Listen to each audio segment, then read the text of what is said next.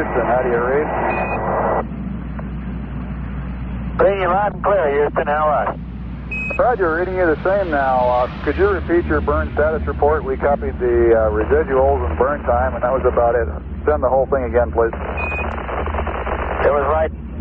It was right perfect.